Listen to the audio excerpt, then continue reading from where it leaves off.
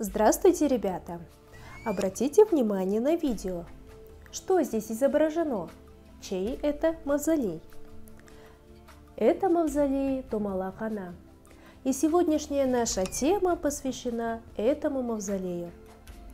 Мавзолей Домалахана расположен на территории Байдыбекского района Туркестанской области на южном склоне Каратау – по данным летописи, Домалакана является супругой знаменитого Байдебека Карашаула, прародителя казахских родов Жетысу Албан, Суан и Дулат. Русский исследователь-востоковед, этнограф Аристов утверждает, что в 1876 году Байдебек Би, по сведениям, полученным от Тиханбай Батыраби из рода Бутпай, старшего Жуза имел трех жен. У Байдебека от первой жены Сары Сары Ойсун, от второй жены Зиреб Жолмамбет, а от третьей жены Домалак, сын Жаршак, от которого родились сыновья Албан, Суан, Дулат. В трудах академика Альтея Маргулана, опиравшегося на записи Шукана Валиханова, написано, что Думалак Хана называли Томалак Авлие, а имя сына Жарахшак, по другим данным, Жорахша. В трудах Диесенова, проводившего позднее исследования народных преданий об Айдебек-Баба и Думала-Хана, говорится, что Думала-Хана при жизни звалась Нурилой и была потомком Ходжи Ахмеда Ясауи, внучкой знаменитого Махтыма Агзама Кажи в Туркестане, а ее отец Али Слан Батыр. Нуриля Али Сланказы родилась в 1378 году в городе Туркестан.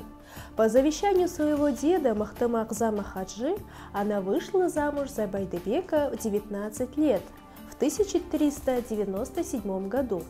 Согласно народным легендам, имя Дихнат Мама было дано ей Карахайдаром туркменского происхождения. Дихнат Мама переводе с персидского означает «святая мать».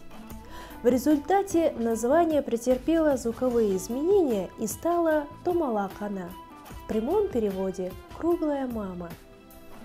Домалакана прославилась в народе благодаря своим уникальным качествам. Она была способна примирить спорящие стороны, приводя их к мирным решениям.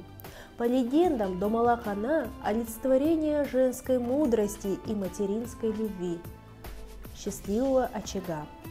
Согласно устным историческим источникам, после смерти Домалахана ее внук Дулат вызвал из Бухары мастера по имени Абдулла Шер и построил над ее могилой купольный четырехстенный мавзолей в 1456 году. Мавзолей Домала Хана неоднократно разрушался и восстанавливался. В начале 20 века на месте ранее разрушенного объекта будет возведен новый мавзолей. Компактная по размерам конструкция построена в форме ротонда-цилиндра.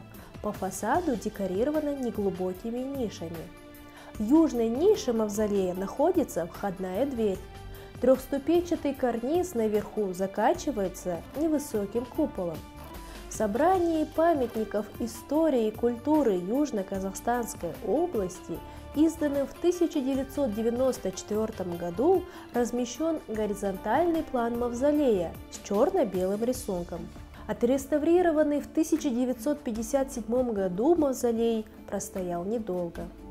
В 1996 году был построен новый мавзолей с белыми камнями, специально доставленными из Мангостау.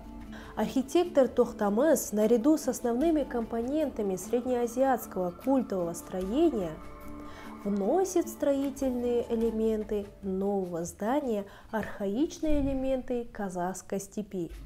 Каждый отдельный фрагмент новостройки в целом придает зданию особый характер. Крупные элементы убранства, расположенные на всех фасадах мавзолея, по словам народа, напоминают форму украшения, сережек и подвесок, которые полюбила жена знаменитого Байдебек Баба. Здание высотой 12 метров завершает восьмигранный купол – Перед входом в мавзолей возведены две башни. В заключении мавзолей Домалакана, как уникальный памятник мусульманской архитектуры, является важным объектом истории и одним из центров духовной культуры казахского народа, отражающим национальное единство Казахстана.